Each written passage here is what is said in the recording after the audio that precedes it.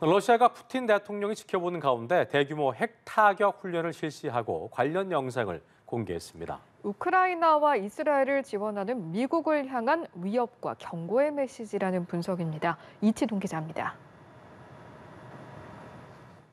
미국의 미사일 방어 시스템을 뚫기 위해 개발된 러시아의 야르스 대륙간 탄도미사일이 섬광과 굉음을 내며 솟구쳐 오릅니다.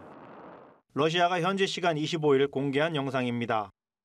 푸틴 대통령이 지켜보는 가운데 대규모 모의 핵 타격 훈련을 성공적으로 실시했다고 밝혔습니다. 핵 추진 잠수함과 장거리 전략 폭격기도 동원돼 여러 발의 탄도 미사일과 순항 미사일이 발사됐습니다.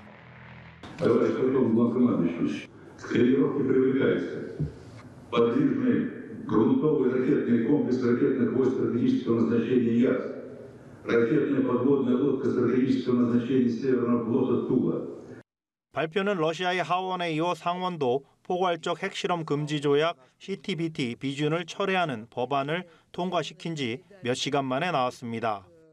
러시아군은 통상 가을에 이런 훈련을 하지만 이번엔 우크라이나와의 전쟁에 더해 중동에서 군사적 긴장이 고조되는 상황에서 진행됐습니다. 이달 초엔 푸틴 대통령이 신형 핵 추진 대륙간 순항 미사일 시험에 성공했다고 직접 공개했습니다. 한편 우크라이나의 원자력 발전소 인근에서 큰 폭발이 발생했는데 젤렌스키 대통령은 러시아의 무인기가 원전을 노렸을 가능성을 제기했습니다.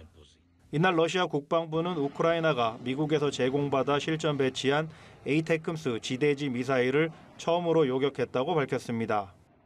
두 개의 전쟁에 개입하고 있는 미국을 향해 푸틴이 존재감을 과시하는 모양새입니다. 연합뉴스 이치동입니다.